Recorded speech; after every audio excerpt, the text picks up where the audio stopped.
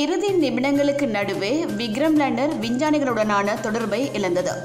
நிலவில் தரையிறங்க இதோ இரண்டு கிலோமீட்டர் தூரம்தான் என இஸ்ரோ தனது கட்டுப்பாட்டு அறையில் இருந்தவர்களுக்கு அறிவிப்பு வெளியிட்ட சில நிமிடங்களில் லேண்டருடனான தகவல் தொடர்பை விஞ்ஞானிகள் இழந்தனர். பெரிய வெற்றிக்காக இந்திய தேசம் காத்திருந்த போது கட்டுப்பாட்டு அறையில் காணப்பட்ட விஞ்ஞானிகளின் பதட்டமான முகங்கள் நாட்டு மக்களுக்கு நிலவில் என்ன நடந்தது என்பதை சொல்லாமல் சொல்லிக் கொண்டிருந்தன நேற்றிரவு. இருப்பினும் நாடு முழுக்க கண் விழித்து காத்திருந்த பெரும்பாலான மக்களுக்கு என்ன நடந்தது என்பது அப்போது புரியவில்லை. கவலை தோய்ந்த முகத்தோடு அதிகாலை இரண்டு பதினாறு மணிக்கு விஞ்ஞானிகள் குழுவினருக்கு நடுவே வருகை தந்தார் இஸ்ரோவின் தலைவர் சிவன். விக்ரம் லேண்டரின் தரையிறக்கம் திட்டமிட்டபடி இருந்தது. சாதாரணமாகவே சென்றது. நிலவிலிருந்து இரண்டு புள்ளி ஒன்று கிலோமீட்டர் உயரத்தில் லேண்டர் சென்றபோது லேண்டரில் இருந்து தரை கட்டுப்பாட்டு மையத்திற்கான தகவல் தொடர்பை இழந்தது. இது தொடர்பான டேட்டா ஆய்வு செய்யப்படுகிறது என்று கனத்த குரலில் சொன்னார் இஸ்ரோ தலைவர் தமிழன் சிவன். அப்போது பொறுமை இழந்தவராக காணப்பட்டார் பிரதமர் மோடி. எதையோ யோசித்தவராய் தான் அமர்ந்திருந்த மாடத்தில் இருந்து மோடி எழுந்து நின்றார். அப்போது இஸ்ரோ தலைவர் சிவன் உட்பட விஞ்ஞானிகள் குழு பிரதமர் மோடியை நோக்கி நடந்து செல்வதை காண முடிந்தது. பிரதமர் அவர்களிடம் மேதோ கூறி தலையசைத்தார்.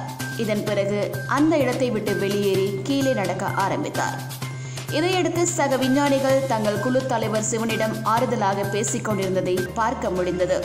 பிரதமர் மோடி இஸ்ரோ மையத்திலிருந்து வெளியேறும் முன்பாக இஸ்ரோ தலைவர் சிவன் முதுகில் தட்டி கொடுத்தார். சோழ்ந்து நின்ற விஞ்ஞானிகளுக்கு நம்பிக்கையூட்டும் வகையில் பேசினார். வாழ்க்கையில் ஏற்றத்தாழ்வுகள் உள்ளன. அப்படிதான் எதுவும். நீங்கள் செய்துள்ளது சிறிய சாதனை அல்ல இந்திய தேசம் உங்களை நினைத்து பெருமிதம் கொள்கிறது. சிறந்த நம்பிக்கை அளித்துள்ளீர்கள். நான் உங்களை வாழ்த்துகிறேன். நீங்களும் அனைவரும் இந்த நாடு அறிவியல் மற்றும் மனித குலத்திற்கு ஒரு பெரிய சேவையை செய்துள்ளீர்கள். நான் உங்களுடன் எல்லா வழிகளிலும் துணையாக இருக்கின்றேன். தைரியமாக முன்னேறுங்கள் என்று கம்பீரமாக மோடி சொன்னபோது அங்கே குழுமிருந்த விஞ்ஞானிகளின் முகங்களில் கவலைகள் மறந்து ஒரு நம்பிக்கை எனும் கீற்று மின்னி மறைந்ததை பார்க்க முடிந்தது. சந்திராயன் டூவின் விக்ரம் லேண்டர் எங்கே சென்றது என்று தேடும் பணிகள் தற்போது தொடங்கியுள்ளது. விக்ரம் லேண்டருடன் மீண்டும் தொடர்பை ஏற்படுத்துவதற்கான பணிகள் நடந்து வருகிறது. சந்திராயன் டூ நிலவில் தரையிறங்கி சாதனை படைக்கும் என்று நினைத்தவர்களுக்கு பெரிய ஏமாற்றம்தான் மிச்சமாக உள்ளது. சந்திராயன் டூவின் விக்ரம் லேண்டர் நிலவில் இறங்கவில்லை.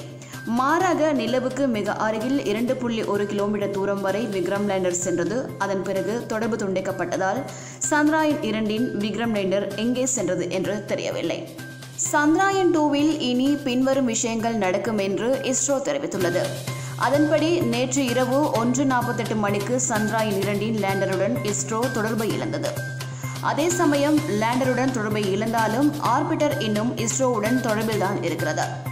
இந்த ஆர்பிட்டர் தொடர்ந்தும் நிலவை ஆராயும். முதற்கட்டமாக விக்ரமுடன் தொடர்பை ஏற்படுத்திக் கொள்ள இஸ்ரோ தீவிரமாக முயன்று வருகிறது.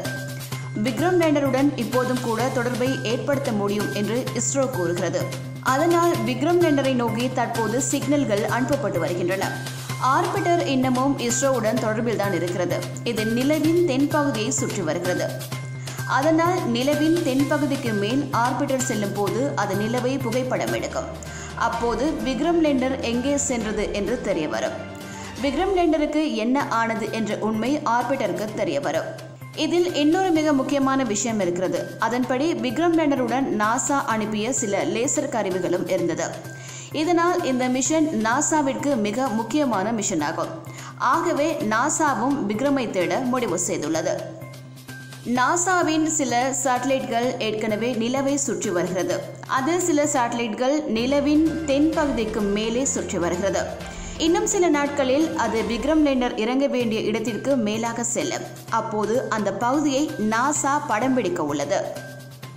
அதனால் ஒரு வாரத்திற்குள் விக்ரம் லேண்டருக்கு என்ன ஆனது என்று நாசா கண்டுபிடித்து கூறிவிடும்.